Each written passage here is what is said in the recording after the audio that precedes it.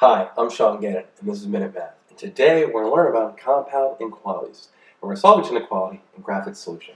So if I was given this inequality, 8r minus 5 is greater than or equal to 6r minus 1, or 4 plus 4r is less than or equal to 3r minus 3. Well, my first step is I'm going to solve each individually. So I'm going to subtract a 6r to both sides here, and I'm going to add a 5 to both sides. And in doing so, 8r minus 6r is 2r, and that's greater than equal to negative 1 plus 5 is a positive 4. And then I'm going to divide by 2 to both sides, giving me r by itself is greater than equal to 4 divided by 2, which is 2. So now I'm the same thing here. I'm going to subtract a 3r to both sides, and I'm subtract a 4 to both sides as well.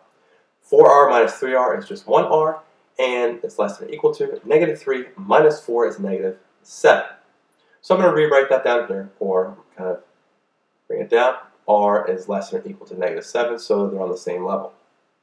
Both my r's are isolated, fantastic. So now I need to graph them. So I draw my number line here, okay? I'm going to include negative 7, and so I have negative 8 here, negative 9, negative 6, negative 5, negative 4, negative 3, negative 2, negative 1, 0, 1, 2, and we put 3 in parallel. Okay. Well, first one here, we said r is greater than equal to 2. So I have a closed circle at 2 because it can equal 2. And r is also greater than 2, so I put my arrow to the right. Okay. The next one, r is less than equal to negative 7. So at negative 7, it can equal negative 7. So I have a closed circle at negative 7. And I put my arrow to the left because r is also less than that negative 7. It doesn't need to go down, but it's just less than, okay? Okay, fix it a little bit. It looks a little, there's a thick one. There we go. Okay, whatever. There's my arrow. Don't judge me. Okay, so now my graph matches my final answer, which is r is greater than equal to 2, or r is less than equal to negative 7.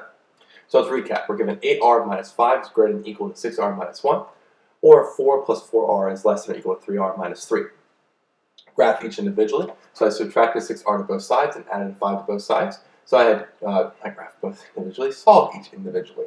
Give me a 2r is greater than equal to a 4. I then divided by 2. Give me r is greater than equal to 2. Here, I brought my r's to the left, numbers to the right, giving me r is less than or equal to negative 7. So I just brought that down here to make it one big statement here. So now I need to graph it. r can equal 2, so I have a closed circle, and r is greater than 2, so I put my arrow to the right. Here, r can equal negative 7, closed circle negative 7, and my arrow goes to the left, if you can call that an arrow, right, or a line there, goes to the left, because r is also less than negative 7. So now I have my graph here that matches my final answer, which is r is greater than or equal to 2, or r is less than or equal to a negative 7.